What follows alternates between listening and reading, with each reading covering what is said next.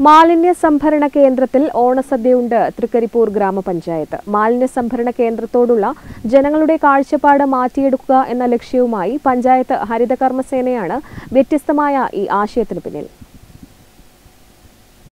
മാലിന്യ സംഭരണ കേന്ദ്രത്തിൽ ഓണസദ്യയുണ്ട് തൃക്കരിപ്പൂർ ഗ്രാമപഞ്ചായത്ത്. പഞ്ചായത്ത് ഹരിത കർമ്മസേനയാണ് വ്യത്യസ്തമായ ഈ ആശയത്തിന് പിന്നിൽ. മാലിന്യ സംഭരണ കേന്ദ്രത്തോടുള്ള ജനങ്ങളുടെ കാഴ്ചപ്പാട് മാറ്റിയെടുക്കുക എന്നതാണ് ലക്ഷ്യം. പഞ്ചായത്ത് ഭരണസമിതി അംഗങ്ങളും ജീവനക്കാരും ഉൾപ്പെടെ നൂറ്റിയമ്പതോളം ആളുകളാണ് എം സി എഫിൽ ഓണസദ്യ ഉള്ളത് ആധുനിക രീതിയിൽ സജ്ജീകരിച്ച എം സി എഫിൽ വേണമെങ്കിൽ ഓണസദ്യയും ഒരുക്കാമെന്ന് തൃക്കരിപ്പൂരിലെ ഹരിതകർമ്മ സേനാംഗങ്ങൾ തെളിയിച്ചു.